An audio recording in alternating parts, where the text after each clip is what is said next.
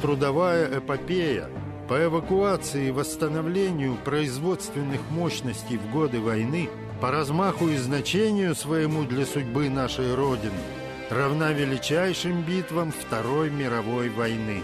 Маршал Советского Союза Жуков.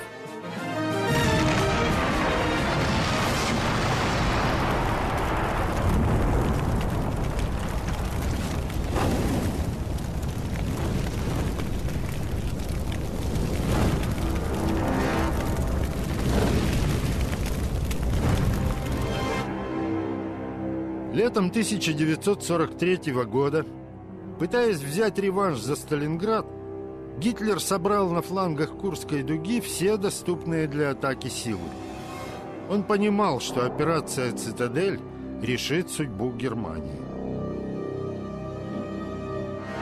Битва на Курской дуге стала очной ставкой советской и германской бронетехники, а следовательно, очной ставкой двух инженерных школ –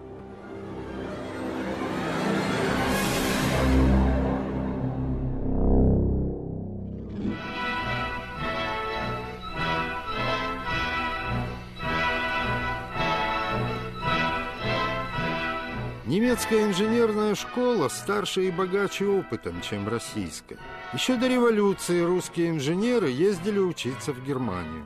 В 30-е годы, когда у нас стало бурно развиваться высшее техническое образование, были популярны немецкие инженерные справочники. Тогда же наши инженеры и ученые перенимали опыт на заводах Круппа.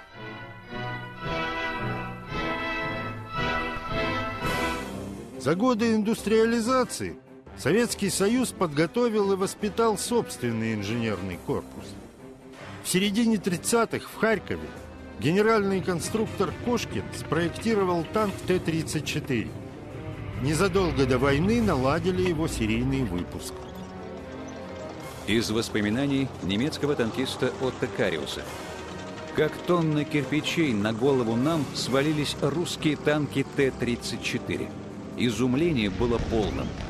Т-34 с его хорошей броней, идеальной формой и великолепным длинноствольным орудием всех приводил в трепет. Рейхсминистр Шпеер собрал ведущих немецких производителей вооружения. Для борьбы с русским танком было решено как можно скорее изготовить тяжелый танк «Тигр» и разработать средний танк «Пантера». «Тигр» был воплощением идей Гитлера о непобедимой армии. Он имел тяжелую броню и превосходную пушку, поэтому мог вести бой с нашими танками на очень большой дистанции.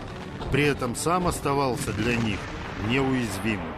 Танк «Пантера» разрабатывался в подражании 34-ки, но он был мощнее и лучше вооружен. Ведь у нас тоже были предложения создать, их даже создали, гораздо более тяжелые, мощные машины, чем Т-34. И их предлагали на вооружение. Одно даже формально приняли на вооружение. Но серийного производства так и не было развернуто. Ну, известна фраза Иосифа Виссарионовича Сталина, обращенная к главному конструктору Мороза о том, что вы делаете, сделали хорошую машину, имелся в виду танк Т-43 – но у нас уже есть хорошая машина Т-34, совершенствуйте ее. Но я не верю в такую прозорливость Сталина. Просто в наркомате танковой промышленности собрались главные головы страны. Русский танк Т-34 в корне отличался от немецких шедевров простотой производства и технологичностью конструкции. Это позволяло активно использовать труд женщин и подростков. А в Германии новые машины по-прежнему рассчитывались под высококвалифицированных немецких рабочих. Наши танки дешевле, чем любые западные. Все нужно, ничего лишнего. Иногда в лишнее попадает ну, то, что, честно говоря, хотелось бы и иметь. Но если мы будем строить по принципу все, что необходимо в этой технике, то у нас просто не будет нужного количества. То есть по одежке протягиваем ножки. Потихонечку это выстраивается ну, характер инженерной школы. Да, у нас стараются никогда ничего лишнего не закладывать в технику. Все, что может ее усложнить, удорожить. Э, но при этом эта техника должна выполнять свою основную функцию. От того, что не на каждом челябинском тракторе есть кондиционер, не значит, что эти трактора не могут пахать. Они отлично пашут. Но кондиционер есть не везде, это верно.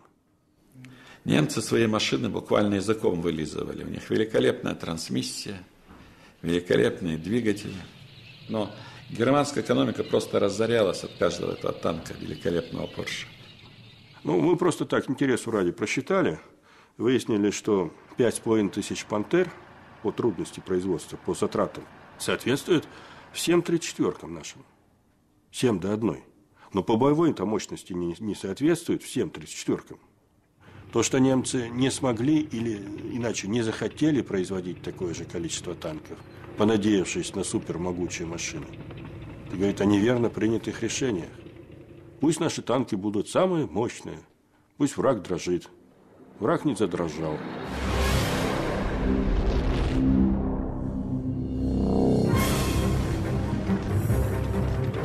А вот в самоходной артиллерии мы еще серьезно уступали. Если, конечно, не считать гвардейских реактивных минометов «Катюш».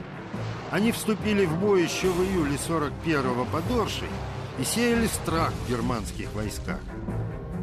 Но их боевое применение рассчитано на поражение больших площадей, а для борьбы с танками нужна ствольная артиллерия с высокой точностью стрельбы. Из постановления Государственного комитета обороны от 19 октября 1942 года. Считая абсолютно необходимым иметь на вооружении Красной Армии многочисленную самоходную артиллерию, Государственный комитет обороны постановляет немедля создать образцы самоходных артиллерийских установок со 122 миллиметровой гаубицей на базе танка Т-34. Срок 20 ноября Итак, постановление принято 19 октября, а ровно через месяц, 20 ноября, образец должен быть испытан. Представляете, какие сроки дали. Мы справились, в общем-то, но, видимо, благодаря заделу, прежде всего. Конструкторский задел был. Самоходка оказалась удачной, Су-122. Но гаубичная артиллерия – это великая вещь. Уралмашевские самоходки помогали взламывать немецкую оборону и отражать атаки танков. Но вермахт на Курской дуге предъявил свой козырь. Здесь впервые появился тяжелый истребитель танков «Фердинанд». В этом качестве он не имел себе равных.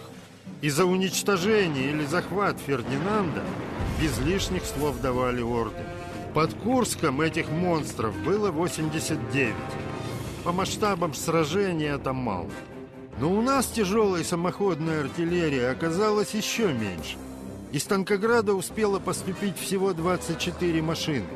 Можно сказать, первые образцы.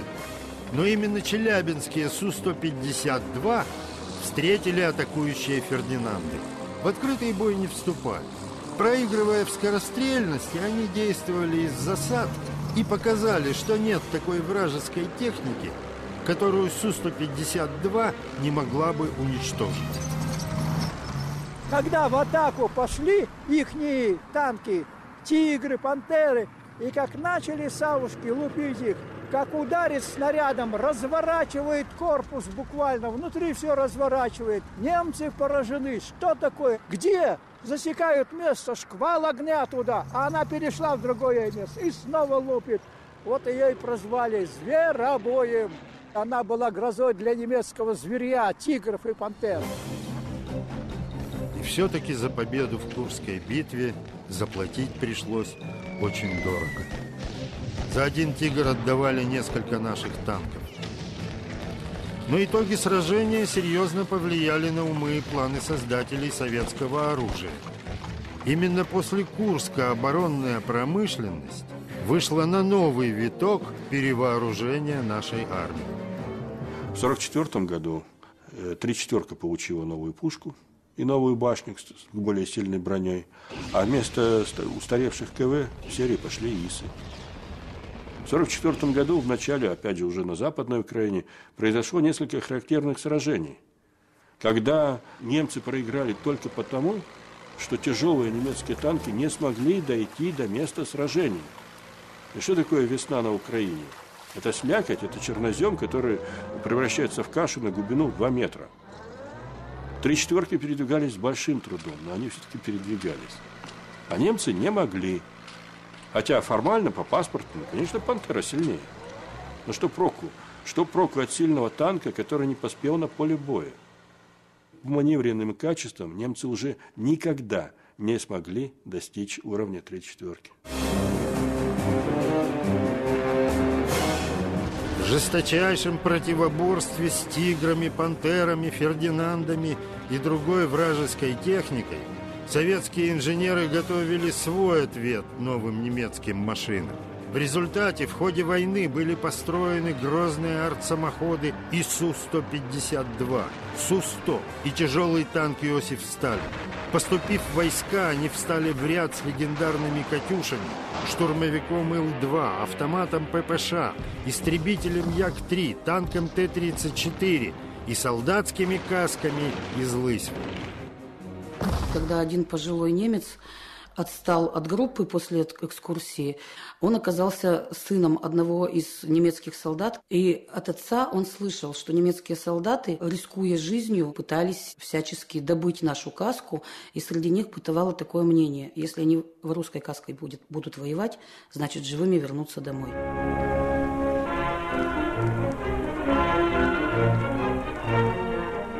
Теперь германская промышленность наращивала производство колючей проволоки. Она уже требовалась не только в концлагерях. Красная армия шла на запад, и солдатам вермахта приходилось возводить все новые и новые рубежи обороны. Это склад колючей проволоки недалеко от линии фронта. Колючая проволока должна задержать вражеское наступление.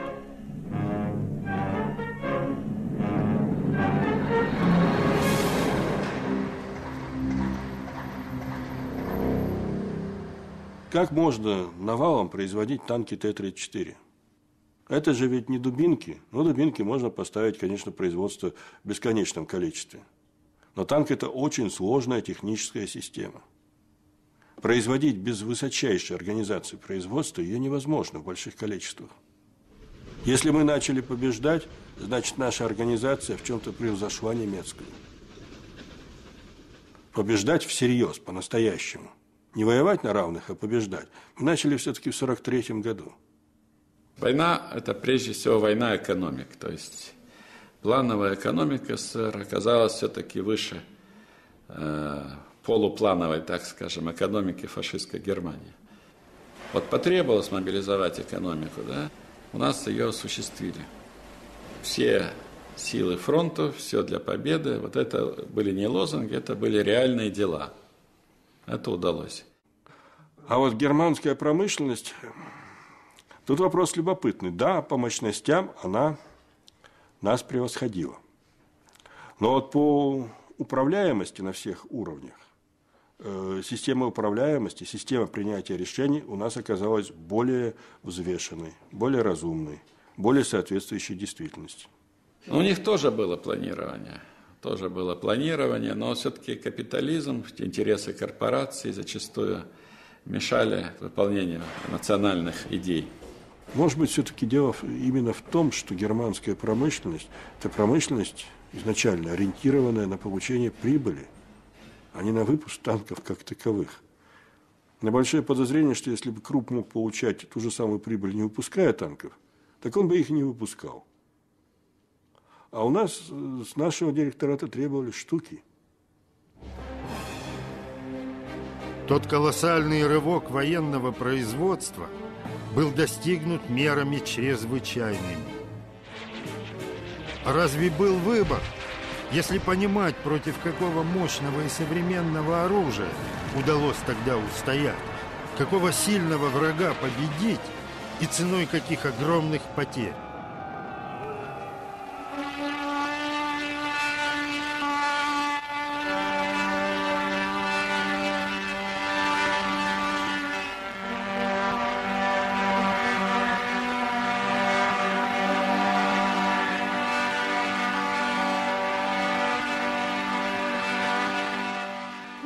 Ни с того ни с сего ночью загудели, загудели все цеха завода.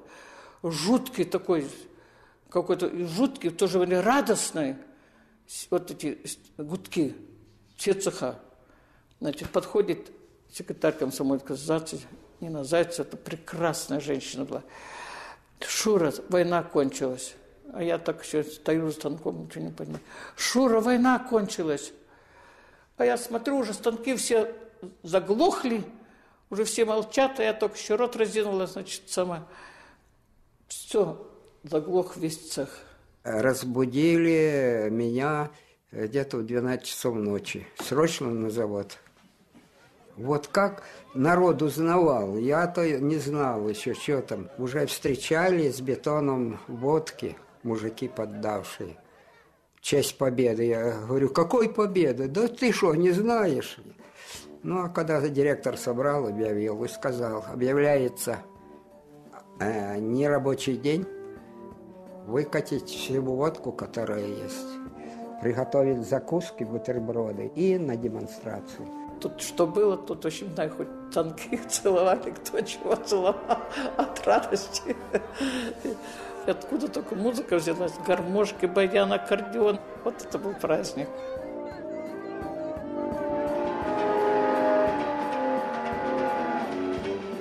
Ну приезжала американская военно-промышленная делегация, причем она посетила несколько городов Урала. И они сказали, сначала покажите гору, а потом уже все остальное. Гора в годы войны видоизменилась, потому что добывали руду в огромных масштабах. И вместо горы уже постепенно становился котлован. Есть такое выражение «война вычерпала гору». А местные магнитогорцы называли э, этот котлован, возникший на месте горы, могила Гитлера. Ну что, вам я могу сказать? В Берлине, в центре. Другой раз так забудешь. Не вдумайся глубоко, посмотришь. Напротив Рейхстаг. А здесь Бранденбургские ворота, которые Геббельса... Геббельса камнем, который заложил. Все равно прошли.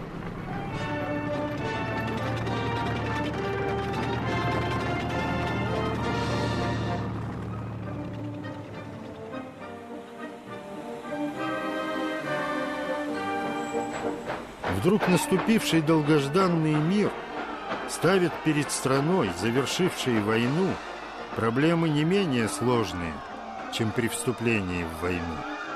Отвоевались, победили и едут с фронта солдаты. Многие ушли из школьных классов и вообще ничего не умеют, только воевать. А ведь надо как-то устраиваться в новой жизни. Ведь эту ситуацию э, Вознесенский прописывает, что нам надо быть готовым к тому, что люди с фронта придут, и мы их должны обеспечить рабочими местами, возможностью обучаться, возможностью приобретать специальность и быть занятыми на работе. Я сразу в гимнастерке, в шинели отправился в институт и э, поступил э, в число студентов – как мы назывались, отечественники, нам предоставили выбор факультета. И с тех пор я занимался на энергетическом факультете и закончил его в 49 году. С пониманием относились к тому, что этот человек обязан учиться, потому что он это право завоевал. И мне кажется, вот эта вот щадящая позиция, она дала возможность смягчить вот эти вот души и направить их энергию в нужное обществу русло. Для тех, кто вынес на своих плечах тяжесть войны, первый день мира стал самым счастливым в жизни. Но это был еще и переломный, кризисный день. График нагрузки энергосистемы 9 мая 1945 года.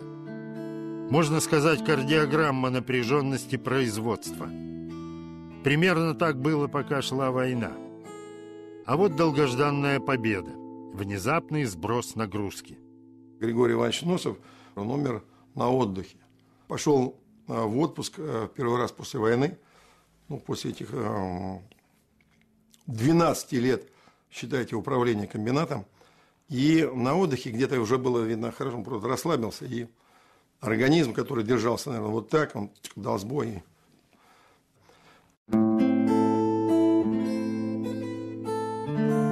Таких судеб было немало. Для страны, завершившей войну, опасность резкой остановки имеет смысл совсем не метафорический.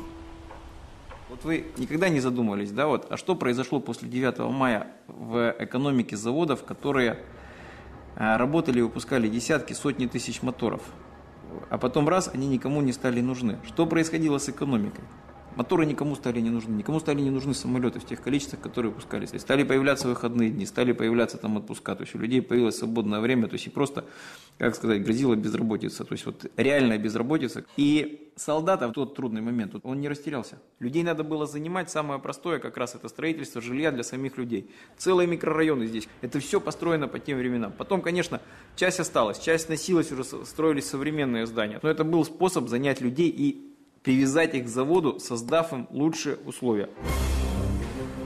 Теперь страна стояла перед необходимостью очередного экономического и производственного маневра. Новую военно-промышленную базу страны, так эффективно работавшую на войну, требовалось развернуть на выпуск мирной продукции и обеспечить восстановление разрушенного хозяйства. Кончилась Вторая мировая. Конец 45 -го года. Полстраны полностью разрушено, полстраны задыхается от перегруза. Европа вытянул план Маршалла. Понятно. Огромные капиталы предложены, огромное количество товара, в том числе промышленных товаров для восстановления промышленности. Все это Западная Европа получила. Мы этого не получили – но восстановили промышленность, не только промышленность вообще, страну восстановили в сроки, сопоставимые с той же Германией. Откуда резервы? Вот я, изучавший ну, полжизни военно-промышленный комплекс, могу сказать одно, что эти резервы были взяты из ВПК. Правильная конверсия э, не просто перенацелена на гражданскую продукцию, а использование военных технологий и военного опыта в производстве гражданской продукции – позволили нам восстановить народное хозяйство.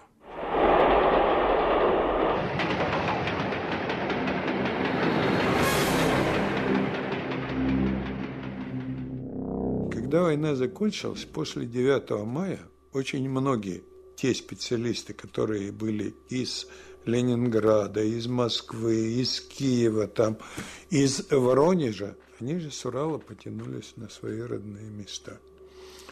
Я после войны в 46 году поехала туда, в Ленинград. Выстояла сутки туда, в эту районную администрацию. Они там пришла, мне говорят, паспорт у вас челябинский, и живите, вам не все равно, что ли? Если бы я была сейчас пошла, так я бы им показала, кому все равно, кому не все равно. Но я заплакала и ушла. Рабочим промышленных предприятий оборонного значения реэвакуация была запрещена. Было рекомендовано директорам забрать все паспорта у рабочих, если они еще не были забраны, ну то есть без документов их оставить. И э, просто категорически запрещено. Самовольная реэвакуация э, считалась дезертирством, каралась по законам военного времени. Но в то же самое время на западе страны, в традиционных промышленных регионах, Опустошенные заводы возрождались заново. Здесь тоже нужны были квалифицированные кадры. Промышленный потенциал страны удваивался. Вышло распоряжение народного комиссара черной металлургии, по которому, значит, э, работники, эвакуированные с заводов Украины, имеют право вернуться на свои предприятия. Это грозило остановкой комбинату. Было разработано специально положение о вербовке. По этому положению заключался договор, кто хотел, тот подписывал. Если они остаются, им давалась квартира, жилье, 3000 э, рублей на покупку коровы и 20 талонов на приобретение одежды и обуви. Тираж был 25 тысяч. Это означало, что, видимо, примерно тысяч двадцать, ну, было таких людей. И они здесь остались. И они туда обратно не поехали. Здесь они и остались работать. Я это ержанин, вот я родился под Одессой, там на Украине, все. Потом Харьков, все. Но мне здесь понравилось. И я до сих пор люблю Тагил. Вот люблю я Урал, особенно Средний Урал, и люблю Тагил. Тагил люблю. Вот у нас был такой знаменитый директор, Виктор Григорьевич Чудовенко. Значит, он родился на Украине, в Славянске, и закончил Киевский политехнический институт. Ну и хотел остаться в Киеве работать, естественно, ну, на Украине. А отец ему сказал, сынку, настоящие металлурги работают на Урале. Вот он собрался и уехал на Урал. И я тоже так считаю, что если ты, значит, металлург, то надо работать там, где металлургический завод. А металлургический завод где? На Урале.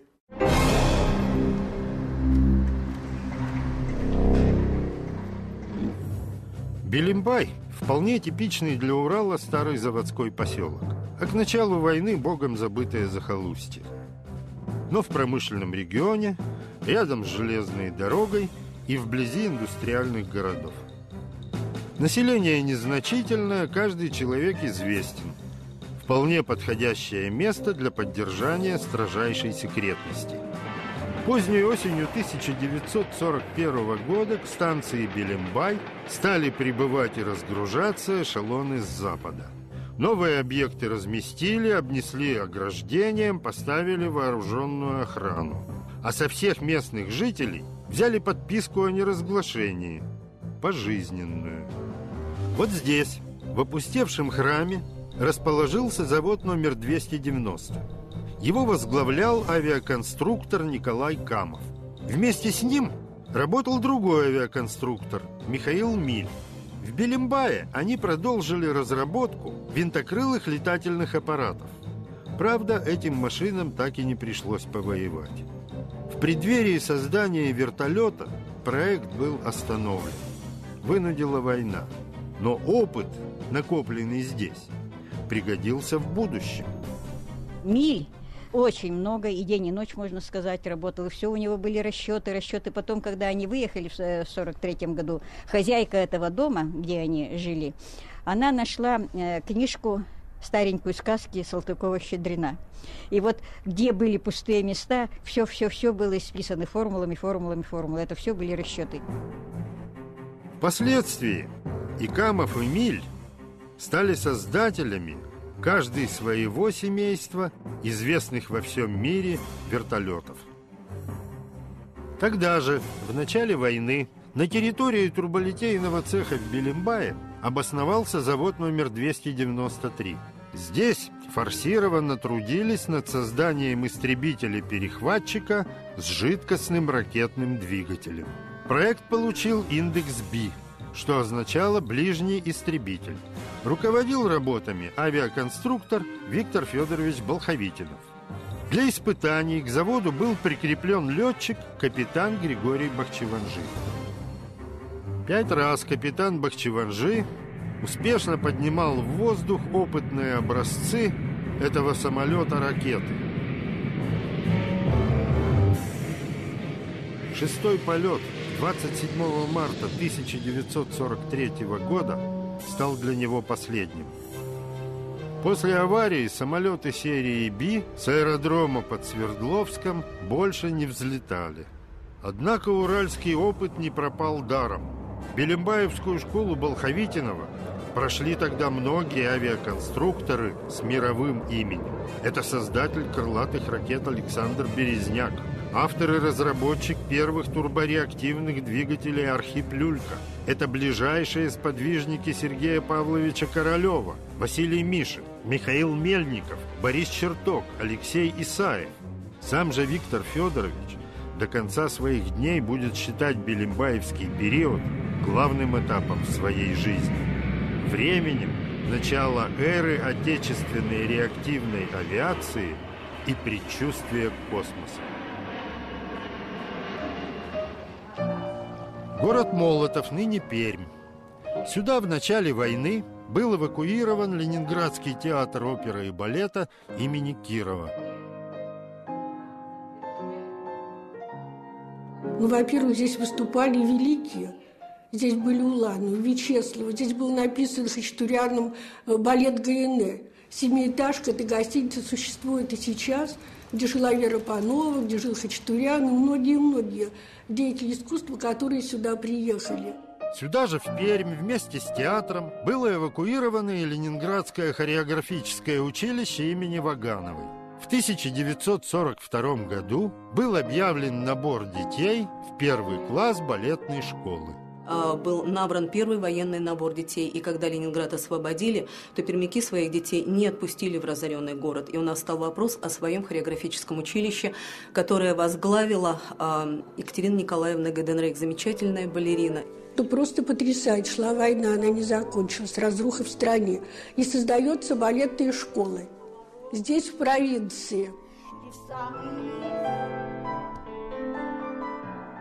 вот э, на один из предпоследних конкурсов «Арабеск» приехал Николай Цискоридзе. Это солист Большого театра, а сейчас он возглавляет Вагановское хореографическое училище. Он вышел на сцену и низко-низко поклонился. Он сказал, я давно мечтал это сделать. Мой педагог из Перми, и все то, что меня прославило, это ваша замечательная школа.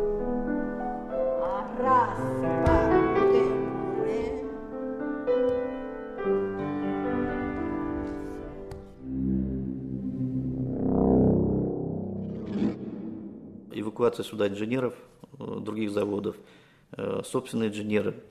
Это мощный инженерный корпус, он продолжал работать и после войны. И результат э, здесь этого достижения очень простой. Реактивная система залпового огня в итоге были размещены на мотовилях. И сегодня мы изготавливаем мы единственный завод в России, который делает эти изделия. Все технологии, которые сегодня применены в металлургии, современные, конвертерное производство, Первый конвертерный цех в СССР был построен в Нижнем Тагиле. Первая машина непрерывного литья заготовки. То есть, если раньше все слитки в Нижнем Тагиле на НТМК, есть чем гордиться-то. Европейские и мировые там, специалисты отмечают, что наши печи работают с лучшими технико-экономическими показателями в мире. Ну, с кем-то там кто-то спорит, они говорят, не, вы не лучшие. Я говорю, а какие? Мы говорят, ну вы вторые. Я говорю, знаете, в Европе мы точно первые, а с Америкой можно поспорить еще. Есть уральские бренды, да, вот они, э, та же Мотовилиха, Мотовилинские заводы. Тот же Пермский моторный завод – это бренд, который известен во всем мире. Урал, вагонзавод, Солда, который там производит титан для этого мира. Ну, просто вот самые яркие примеры, которые свидетельствуют о том, что Урал был, есть и будет опорным краем державы. Я ведь как э, представитель академического сообщества считаю, что Урал – это та середина, с которого начинается и заканчивается э, многие великие э, дела, которые в Союзе и в России делаются. Война была тяжким испытанием, но она научила не только воевать. Она научила работать. Урал пережил стремительный индустриальный подъем. Расширились мощности предприятий, работавших до войны. В кратчайшие сроки были построены новые заводы. Сложились целые отрасли промышленности, которых раньше здесь не было. Урал превратился в становой хребет оборонного комплекса страны. А Советский Союз, победив в войне, приобрел статус сверхдержавы.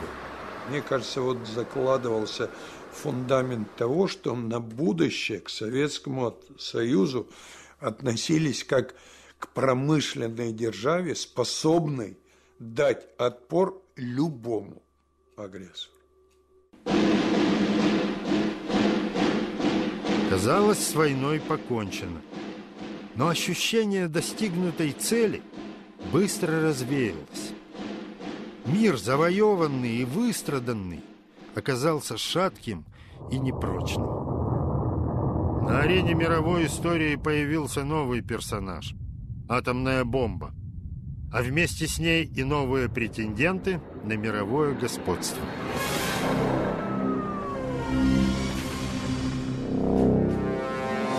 Еще задолго до конца войны американцы просчитали, что в послевоенном мире другим сильным государством, кроме Соединенных Штатов, будет Советский Союз. Следовательно, вот он, враг.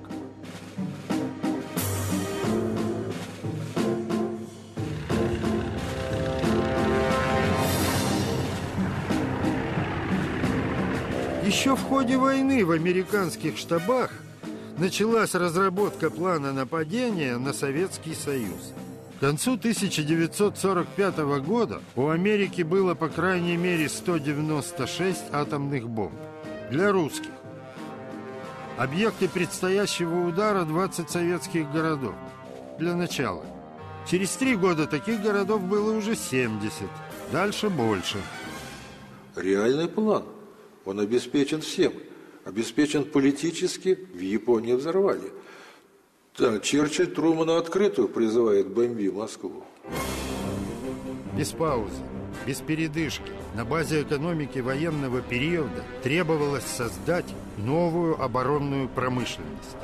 Было понятно, что для реализации атомного проекта придется в который раз за короткую советскую историю поднимать на дыбы всю страну. Ход пошли методы, отработанные во время войны. Предельная мобилизация и концентрация материальных и человеческих ресурсов, широкий простор инициативе и строгая ответственность за выполнение задач. Вызвали его в Компартии и дали два или три экземпляра. Я первый раз э, многостраничных анкет. Вот мы там часов шесть сидели, заполняли их. Когда э, спросили заведующего оборонным отделом, для чего это нужно, он сказал, да это нужно для обкома партии. Там а оказалось, что это нужно было, отбирали кадры для э, вот этой базы 10. Комсомольцев, членов партии отбирали мобилизационно. Хочешь, не хочешь, а нужно для страны и все. Как и во время войны, Весь организм перенапряженной страны отдавал свою энергию в центры новых производств, на базе которых создавались закрытые атомные города. Первым по времени и наиболее связанным с традициями эвакуации был нынешний Озерск. Его ядром стал комбинат по наработке оружейного плутония «Нынешний маяк». Объекты строили, как в годы войны на Уральском алюминиевом заводе – без проектов и смет на свой страх и риск. Для иного история не отводила времени. Начали прорубать просеки, дороги строить, потому что здесь не было ни дорог, не было ни электроэнергии, трудно приходилось. Срывались сроки разделки котлована под первый реактор. Планировали 12 метров хватит, оказалось, что надо 53 метра. Ручной труд, никакой механизации – Назначается комиссия, приезжает самое высокое руководство специального главного управления, первого главного управления, все наркоматы, строительство предприятий тяжелой промышленности приезжают на место. Ну, меняет руководство. Но тут же министр внутренних дел Круглов выпускает приказ в течение месяца сюда направить еще около 18 тысяч заключенных. И в течение месяца сюда поставить 110 юрт утепленных на 50 человек каждый, чтобы можно было зиму встретить и вновь прибывшим. У нас был, как в Средней Азии, так сказать, район, юрты белые стояли, целый полигон. С июня 1944 года руководство атомным проектом со стороны государства было возложено на Лаврентия Берию. Впервые Берия приехал под Киштым 8 июля 1947 года после того, как стало понятно, что обещанной Сталину к концу года бомбы не будет. И вновь сработал принцип «кадры решают все». Директору Уралмаша Музрукову пришлось оставить свой завод и принять на себя руководство строящимся комбинатом. Когда основные научные проблемы были решены, стал вопрос о серийном производстве атомных бомб, реакторов, всего чего угодно – где были взяты специалисты для конструирования серийных изделий и для их производства? В танковой промышленности. Э, в приказах по Министерству транспортного машиностроения, куда входил Танпром, за конец 40-х годов целые простыни, э, перечни людей, вот такие, о переводе с танковых заводов в свинцовую промышленность. Тогда это так называлось. И, как вы знаете, бомбы мы действительно стали делать на потоке. Да и не только бомбы, и реакторы, и многое чего другое. 1 июня 1948 года был подписан акт о том, что аппарат А, так он назывался в тот период, принят в промышленную эксплуатацию базой 10. И вот надо было проверить, способен этот реактор работать как промышленная установка по наработке плутония или не способен. Вот Курчатов был уверен, а руководители хозяйственного уровня были в большом сомнении. Сработает он как промышленная установка или взорвется, а такая вероятность была вполне возможна. Несмотря на это, вот здесь, в этой комнате, вот за пультом там, стояло все руководство, так сказать, вот комбината и первого главного управления. Стояли здесь. Зачем мы стояли? Ну, победили праздник. А если не победили? Ну, наверное, лучше здесь, если взорвется, чем где-нибудь. Люди этой эпохи были слеплены из какого-то другого теста. На риск шли независимо от должности и положения. Генерал Абрамий Завинягин приехал по поручению Берии разбираться с очередной аварией. Он быстро понял, что при ремонте не избежать облучения рабочих. Реактор-то не заглушен. Генерал берет стул, ставит его рядом с работающим реактором и усаживается. Рядом с ним устраивается и генерал-майор инженерной службы, директор комбината Борис Музруков. Рабочие, видя, что генералы сидят рядом, приступили к работе. Аварию устраняли шесть дней, и все это время Завинягин, несмотря на уговоры дозиметристов отойти подальше от активной зоны, просидел рядом с работающими ремонтниками. Американцы были уверены, что свое атомное оружие у нас появится не раньше, чем через 15-20 лет. Вышло иначе. 29 августа 1949 года в СССР испытали первую атомную бомбу.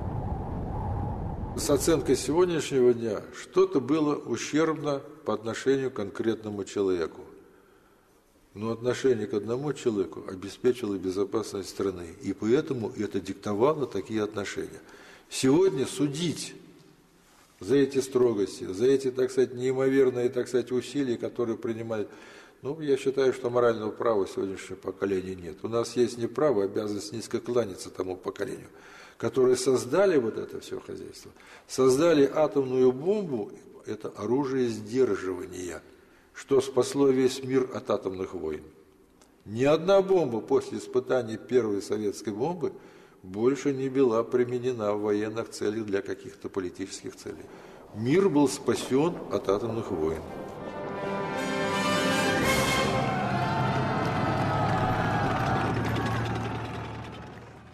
Так ведь э, причин, как всегда, много. Но одна из причин в области психологии. В Западной Европе что такое русские? Это люди, которые плохо копируют западные образцы – что-то там украли, что-то сляпали, ну вот получили какую-то продукцию. Творческого потенциала за нами как бы не подразумевалось. Того факта, что из заимствованной технологии мы создадим что-то новое, иное и весьма эффективное, даже не предусматривалось. Но ведь сейчас и в нашей стране огромное количество людей оценивают нашу промышленность точно так же. Ржавые остатки советского периода. Ничего из этого взять нельзя низкотехнологичная э, промышленность Советского Союза, люди, уцелевшие в ней со своими отсталыми взглядами. Все один в один. Вот был я на US Steel, вот, на заводе, завод, который, наверное, по возрасту даже старше Нижнего Тагила. Вот я пришел, да, они вот стоят, работники. И, наверное, стан прокатный такой же, примерно, как у нас, по возрасту. Но он весь автоматизирован, увешан какими-то современными системами. Вот. И подхожу к рабочему и спрашиваю его, скажите, а вот что вот у вас вот тут вот это? Он говорит, не знаю. Вот ему не положено знать, вот он знает вот кнопку, там, ручку нажать это. Мастера спрашиваю, а мастер тоже не знает. А наш-то знает все, что делается у себя, он знает то, что делается еще у соседа, то, что знает, что делается за стеной. Наши я думаю, что мы поэтому и победили во всех вот этих войнах, потому что мы нестандартны, что русский человек, он интересуется. После войны было соревнование. Наши профсоюзы поехали в Австрию на Всемирный конгресс профсоюзов. И там э, кто-то из докладчиков сказал, что вот у нас есть Анатолий Михайлович Чугунов, который выполняет норму на тысячу процентов. Ну, присутствующие заржали сказали, что же это за нормы такие. Вот, мы в это не верим. Ну, ладно, устроили соревнования, значит, австрийцы выставили своего лучшего слесаря, инструментальщика, а ему противостоял Анатолий Михайлович. Задача, задание было одинаковое, вот образец ключа для сейфа, сделать дубликат. Анатолий Михайлович уже через полчаса представил готовый ключ, а тот все еще с заготовкой возился. Ну, всем все стало ясно, ему подарила фирма часы золотые именные. Наверное, все-таки я сказал бы, у каждой нации есть ген победы. Никто же не хочет поражения. Э, но э, наш народ, он слишком много пережил, наверное, за всю историю. И война, которая была последняя война, не мы ее начинали. Вы знаете, большая же Россия, да. И Россию, которую не показывают там повседневно там в новостях. Мы видим там центр, там Москву, еще что-то. Но есть Россия, которая здесь вот в Нижнем Тагиле, которая там в пригородах Нижнего Тагила. Там есть там, нижняя солда, верхняя солда. А там ведь люди крепкие духом. Вот. И если этих людей поднять, и они сами поднимутся, там, я думаю, что мы Россию всегда стоим. Вот в этом точно не сомневаюсь. Из распоряжения Наркома танковой промышленности СССР Малышева 15 мая 1945 года.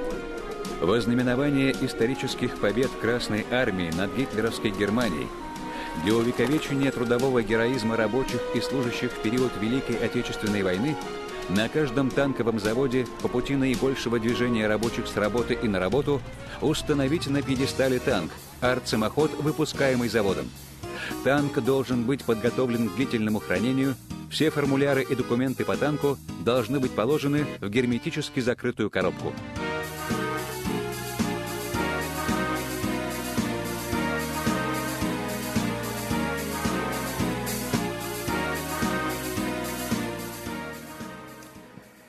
Так что я победу помню. Люди плакали, обнимались. Но не было такого вот истерик. Обнимались. Тяжко-то на душе было все равно. Тяжко. И рады были, что в конце концов это верили, что сейчас это надолго. Оно так и получилось, вообще-то надолго. Все-таки этой мрази свернули башку этому нацизму.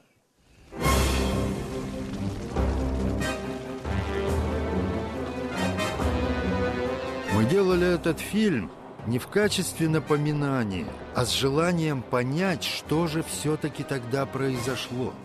Точно ли то были люди другого духа и другой плоти? Или они были такие же, как мы? Но жизнь поставила их в те условия, в которые нам бы, упаси Боже, никак не надо. Что толку примерять историю к себе? Дескать, а могли бы мы такое выдержать? Бессмысленный вопрос. Кто может на него заранее ответить? А готовить себя к возможным испытаниям и жить в предчувствии беды тоже малопродуктивно. Не лучше ли жить в предчувствии счастья? Так ведь они так и жили. Послушайте их песни, посмотрите их фильмы, но они выдержали. А почему? И главное, насколько мы в нынешней нашей, по-своему не менее сложной жизни, можем опереться на их опыт.